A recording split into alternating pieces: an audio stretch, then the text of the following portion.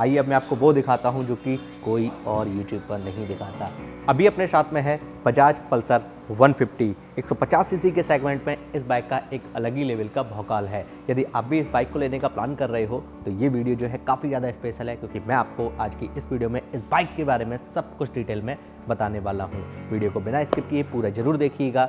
नमस्कार दोस्तों, मैं हर स्वागत करता हूँ आपका technical S S YouTube channel पर। सबसे पहले बात कर लेते हैं इस बाइक के कलर की।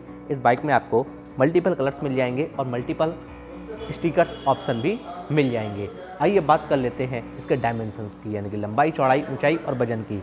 इस बाइक का कर वेट है 150 फिफ्टी के जी ये बाइक 150 किलो की है। इसमें ग्राउंड क्लियरेंस मिलता है लगभग एक सौ mm का और इसकी सीट हाइट है लगभग सात सौ पचासी mm की। इसकी लेंथ है 2035 mm की विथ है 750 mm की। हाइट है 1115 mm की। इसमें व्हील बेस मिलता है 1345 mm का। आइए अब इसको 360 डिग्री कवर कर लेते हैं, चारों तरफ़ से देख लेते हैं। ये है इस बाइक की प्रॉपर लेफ़्ट प्रोफ़ाइल ये है इसकी राइट प्रोफ़ाइल ये है इसकी प्रॉपर फ्रंट प्रोफ़ाइल आइए पास से देखते हैं। ये देखिएगा हेड हैंडल वारबीम का जो पैटर्न है, वो कुछ इस तरीके का है। हाफ़ ट्रांसपेरेंट वाइज़र मिल जाता है, बजाज का लोगो लगा हुआ है पायलट लैंप्स मिल जाते हैं साइड में यहाँ पर ये ग्राफिक्स मिल जाते हैं। हेडलाइट की अगर बात की जाए, इस बाइक में हेलोजन बल्ब के साथ में हेडलैम्प सेटअप मिलता है। आइए अब मैं आपको वो दिखाता हूँ जो कि कोई और यूट्यूब पर नहीं दिखाता। ये देखिए। बल्ब इसमें देखिए। फोनिक्स कंपनी का है और 35 बाई 35 वॉट का लगा कर दिया है। दिख रहा है? मैं कोशिश करता हूँ दिखाने ये देखो। कंपनी दिखा देता हूँ। ये देखो फोनिक्स कंपनी है। ठीक है? साइट एंड इंडिकेटर की अगर बात की जाए, थोड़े बहुत फ्लेक्सिबल हैं। और हेलोजन बल्ब का ही इसमें उपयोग किया गया है। बात कर लेते हैं इसके फ्रंट सस्पेंशन की। फ्रंट में कंपनी ने टेलीस्कोपिक सस्पेंशन दिए हैं और फ्रंट मडगार्ड का जो पैटर्न है वो कुछ इस तरीके का है।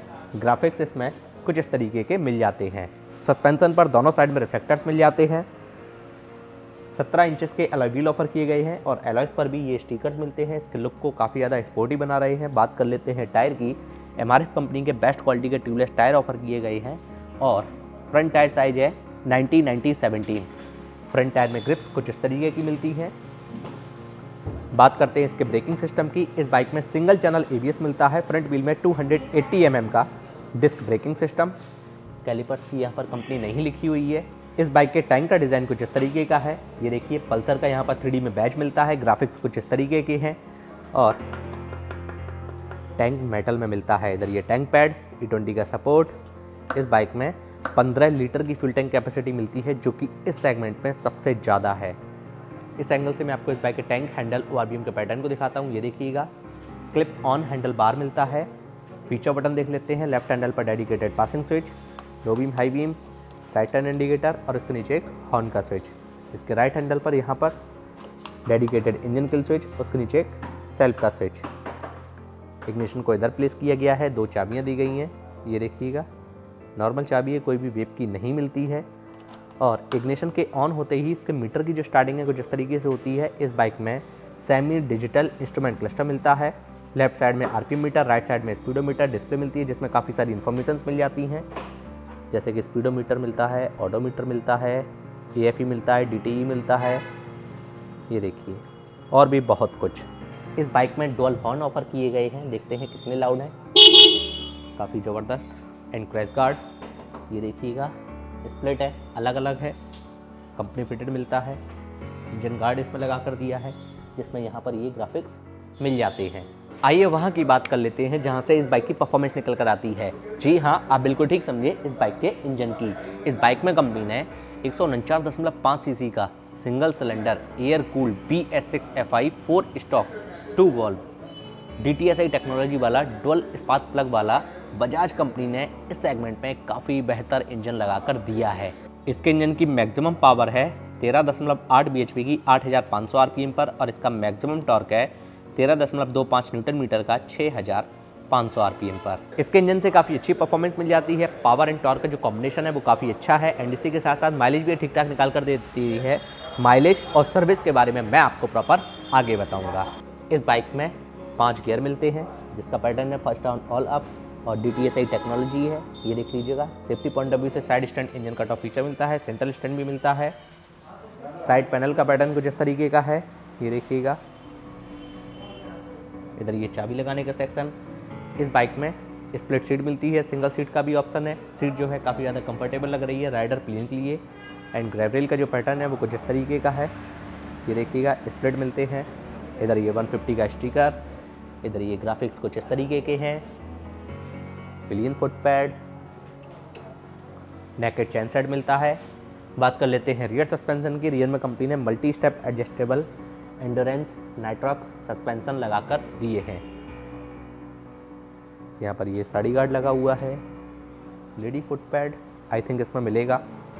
बात कर लेते हैं रियर टायर की। रियर में भी एम कंपनी का ही बेस्ट क्वालिटी का ट्यूबलेस टायर है और रियर टायर साइज़ है 120 80 17 और रियर टायर में ग्रिप्स कुछ इस तरीके की मिलती हैं।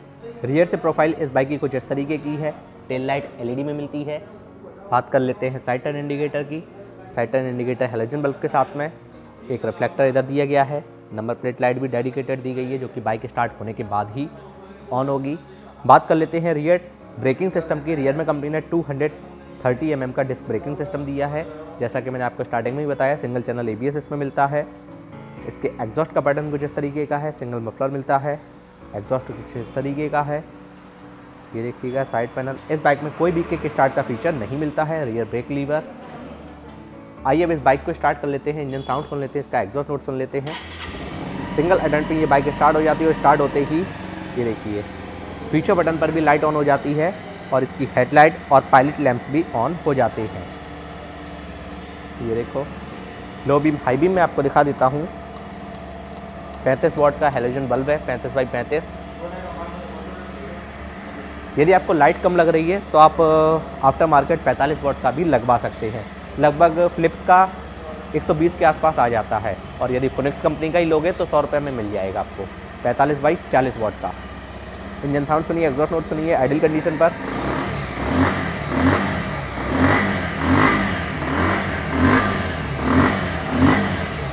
पल्सर का signature R P M meter, analogue होना चाहिए।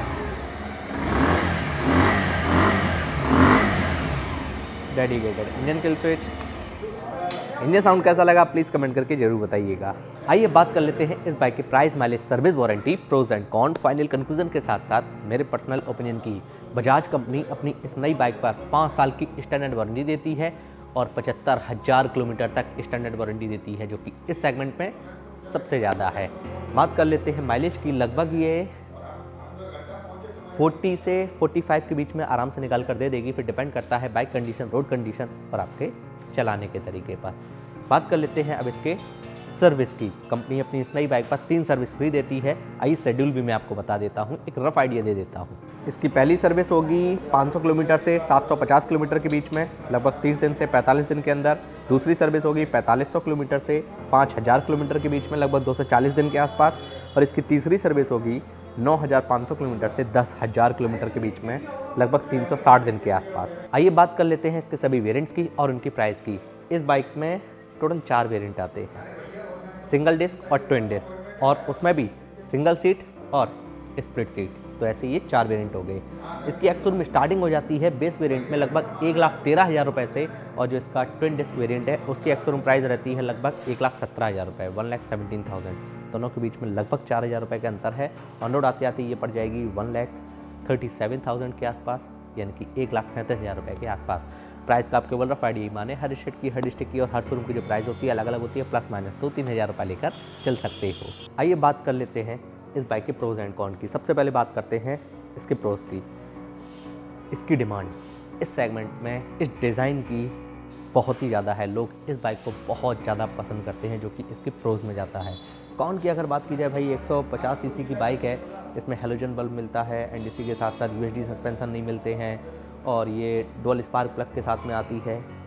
लेकिन भाई, जिस किसी को भी यही पसंद है तो उसको तो यही पसंद है ना। एल ई लाइट चाहिए एन वन फिफ्टी की तरफ़ चले जाइए, और अच्छा इंजन चाहिए एन वन सिक्सटी की तरफ़ चले जाइए डबल ए बी एस चाहिए एन वन सिक्सटी की तरफ़ चले जाइए। भाई, जिस किसी को ये पसंद है, उसके लिए ये बाइक एकदम परफेक्ट है। मेरे फाइनल बजट की अगर बात की जाए कंपनी की जो पैकेज दे रही है, उसके अकॉर्डिंग ये बाइक मैं आपको 100 परसेंट रिकमेंड करता हूँ, क्योंकि जिसको ये बाइक चाहिए, उसके लिए कंपनी इस बाइक को बरकरार रखे हुए है। तो ये कंपनी की तरफ़ से अपने कस्टमर्स के लिए एक प्लस पॉइंट है। तो दोस्तों, बस फ़िलहाल के लिए इस वीडियो में इतना ही। मुझे उम्मीद है वीडियो आपको पसंद आई होगी। फटाफट से लाइक कर दीजिए मैक्सिमम से मैक्सिमम शेयर कर दीजिए। अगर आपका कोई भी सवाल, कोई भी सुझाव हो कमेंट करना ना भूलिएगा। और अगर अभी तक आपने चैनल को सब्सक्राइब नहीं किया है तो भाई टेक्निकल एस यूट्यूब चैनल को सब्सक्राइब कर लीजिए और technical S Instagram and AV पर भी फॉलो कर लीजिए, क्योंकि मैं आपके लिए ऐसे ही इंटरेस्टिंग वीडियोस और इंपॉर्टेंट वीडियोस जी हाँ भाई इंपॉर्टेंट वीडियो समय समय पर लाता रहता हूँ। जय हिंद, वंदे मातरम।